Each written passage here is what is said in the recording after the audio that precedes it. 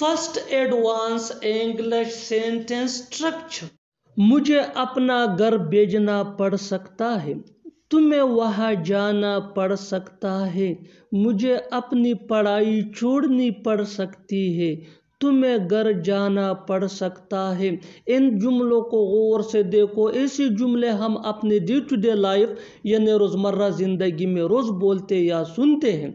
ऐसे जुमले हमें रोज़ बोलने या सुनने को ज़रूर मिलते हैं अपने डे टू डे लाइफ में। इन जुमलों में हम बोल रहे हैं, पढ़ सकता है, यानी हर सेंटेंस में पढ़ सकता है।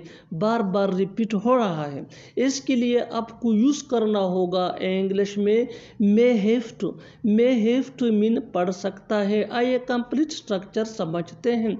Subject plus may have to plus V one यानी first form of verb plus other words आगे डिटेल से समझाता हूँ मिसालों से। Here are some example for better understanding मुझे अपना घर भेजना पड़ सकता है। I may have to sell my house I may have to sell my house तुम्हें वहाँ जाना पड़ सकता है।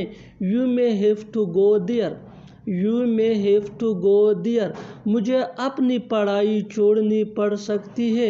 I may have to leave my study. I may have to leave my study. तुम्हें घर जाना पड़ सकता है। You may have to go home. You may have to go home और आखिर में ये सेंटेंस आपके लिए कमेंट सेशन में इसका जवाब ज़रूर देना। उसे यहाँ आना पड़ सकता है। उसे यहाँ आना पड़ सकता है। Second advance English sentence structure मुझे चाय पीने की आदत है। उसे झूठ बोलने की आदत है।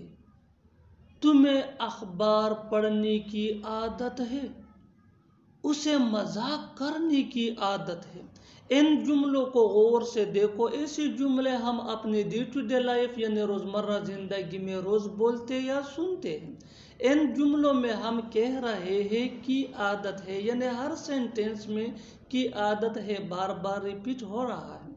इसके लिए आपको यूज़ करना होगा इंग्लिश में in the of in the habit of mean की आदत है। आइए कंप्लीट स्ट्रक्चर समझते हैं। Subject plus helping verb helping verb ये सब्जेक्ट के मुताबिक होगा। Plus in the habit of plus verb plus I N G plus other words आगे डिटेल से समझाता हूँ मिसालों से। Here are some example for better understanding मुझे चाय पीने की आदत है। I am in the habit of taking tea I am in the habit of taking tea उसे झूठ बोलने की आदत है। He is in the habit of telling a lie he is in the habit of telling a lie तुम्हें अखबार पढ़ने की आदत है। You are in the habit of reading newspaper you are in the habit of reading newspaper उसे मज़ाक करने की आदत है। He is in the habit of joking he is in the habit of joking और आखिर में ये सेंटेंस आपके लिए कमेंट सेशन में इसका जवाब ज़रूर देना।